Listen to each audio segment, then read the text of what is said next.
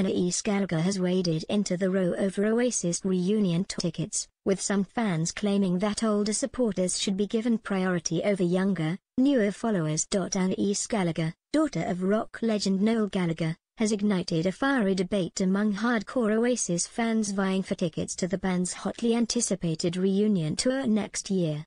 The 24-year-old model and photographer waded into the fray via social media, defending newer fans of her dad's legendary rock group after some long-standing Oasis aficionados claimed they had more right to attend the reunion concerts.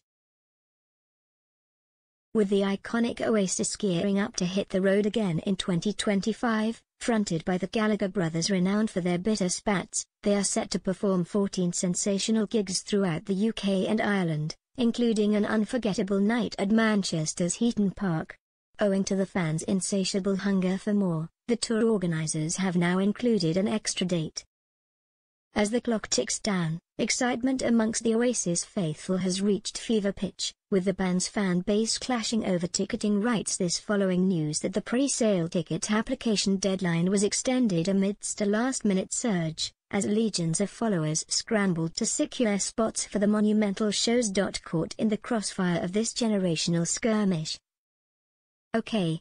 Magazine reveals how impassioned longtime devotees argue that the younger contingent simply lacks the long-honed loyalty, accusing them of hopping on the Oasis bandwagon, according to reports from the Manchester Evening News. In a pointed rebuff to entitlement claims, one exasperated fan expressed their discontent to X, imagine waiting 15 years for Oasis to reform only to lose out on tickets to Chloe, 21 from Stockport who just wants to hear Wonderwall live. Hashtag Oasis Reunion